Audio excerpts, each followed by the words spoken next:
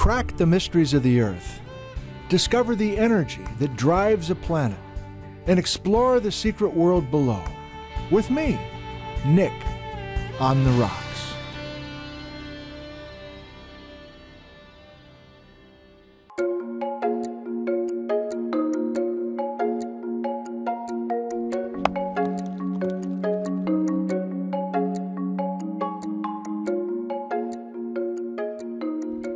This is one of my favorite places, the north face of Saddle Mountains. There's everything going on out here geologically, even though it's very remote.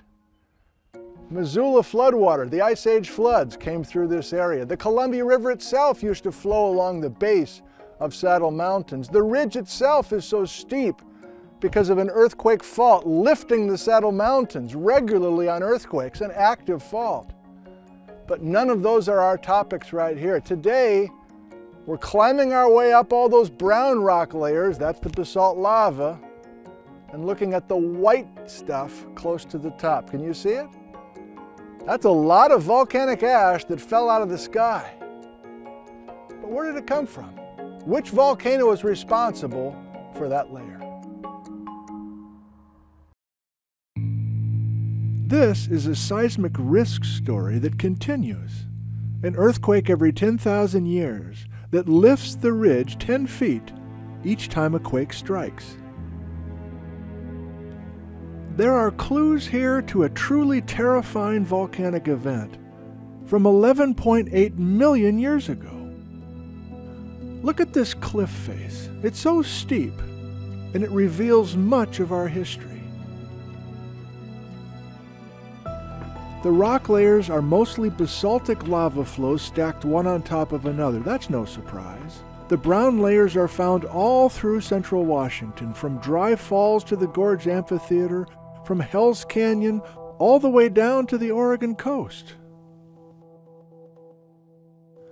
But what's with that white layer close to the top that's sandwiched between basalt lava flows?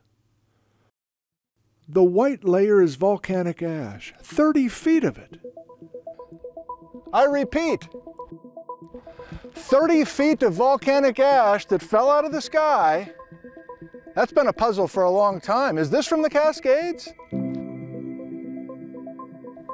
For a long time, nobody could figure it out. We now know the chemical details of this volcanic ash and there's a perfect match to a volcano 500 miles away in southern Idaho, not the Cascades.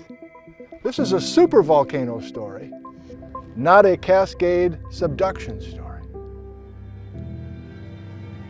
The supervolcano produced an amazing amount of volcanic ash, more than 1,000 times the volume of the famous 1980 Mount St. Helens eruption. Much of the American West showered in fine volcanic ash.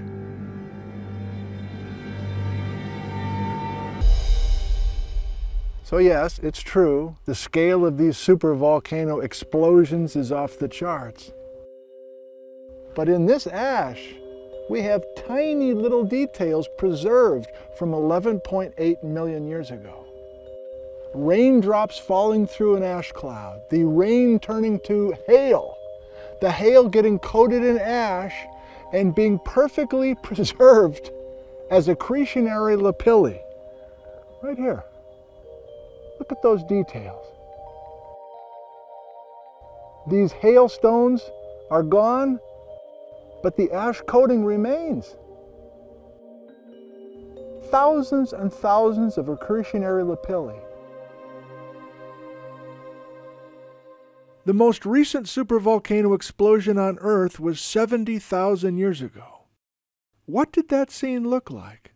What did it sound like? What did it smell like? We don't know the details because humans have never seen a supervolcano erupt.